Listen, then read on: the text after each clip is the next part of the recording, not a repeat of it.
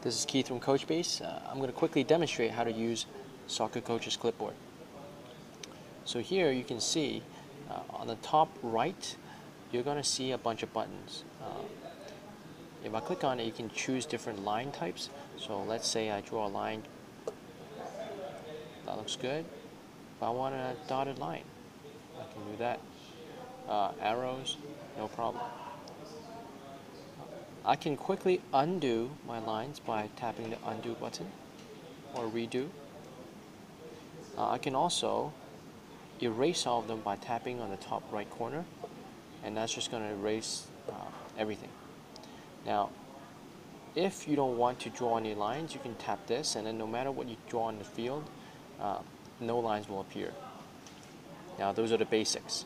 Second thing, let's say you want to create an animation, you can just move the players into place, tap the plus button, move your players, move your ball. You can move multiple people at the same time, and then just tap the plus button. At the top, you're going to see 5 out of 5, that's a step number. Uh, everything is broken down into a series of steps. So now if I press play, it's going to do what I just created.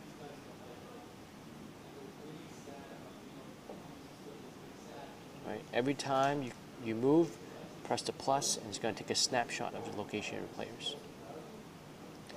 Now let's try to create a new play. Uh, there are multiple fields. You can have an out of bound field, you can have a futsal, indoor. Um, you can have you know, practice fields uh, or no lines at all. So let's say we create this. Uh, we want half and then we just want this many players and it's going to create that. Okay. Another thing is you can go to no, let's let's try to save a play right now. So I'll create again. We want a short corner. He'll come over, pass the ball, come, come, come, and then score. Now let's save this as corner kick.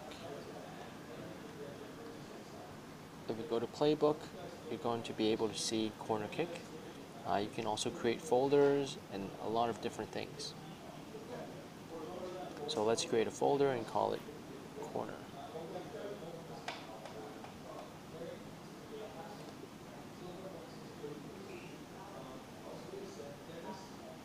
And then we can move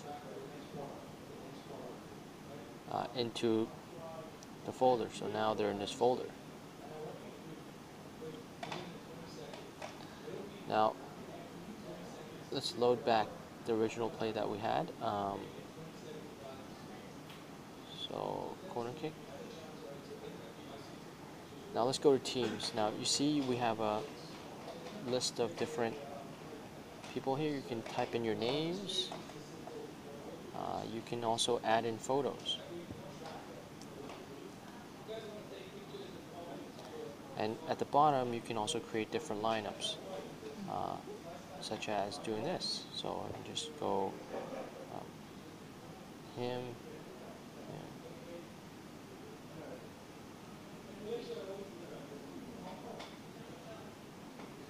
So just drag and drop. Alright, there we have it. And then you can go here and we can load the lineup we had. You can also quickly add more players by doing that. We can also, let's create a new play. Uh, we can put in objects like this. Uh, and you can create drills. So let's say we have a drill. We start here.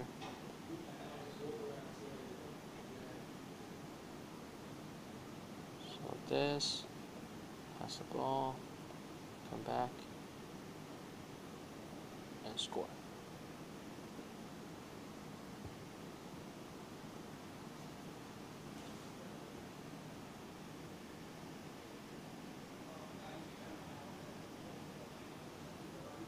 and you can save that. Uh, you can add notes to your drill. So let's add a note. Let's go back to step one. You can add a note.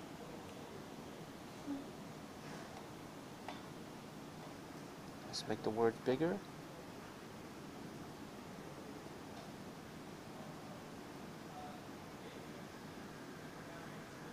Okay.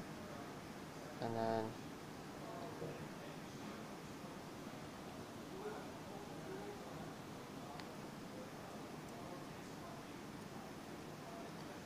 So if we do that, you're going to see that we've just added notes. And now that you've made the change, you can save the changes you made by just tapping save. Now we've saved it. Now that you've created all this fun stuff, you can just simply share it. So if you configure your email, you can email as PDF or you can email as a play uh, or you can uh, save it as an image. So multiple different options you can use. If you're stuck, you can try using tutorial uh, or you can contact us. And that's just a basic overview of how to use Soccer Coach's Clipboard. Thank you.